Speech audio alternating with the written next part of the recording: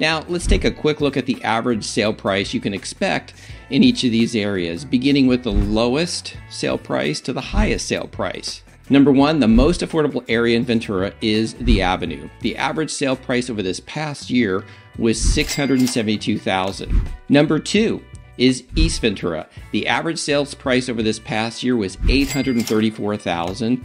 Number three is the College area. The average sale price over the past year was 950,000.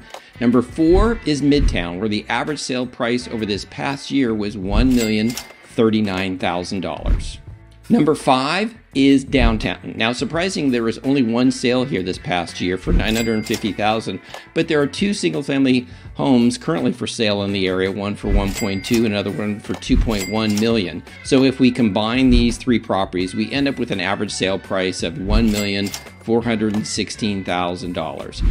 And I will say the average for this area is typically higher than the Midtown area of a 1,039,000. Number 6 is the Ventura Hillside. The average sale price was just at a million six hundred and ten thousand dollars. Number seven is the beach and marina area with the highest average sale price over the past year was $2,390,000.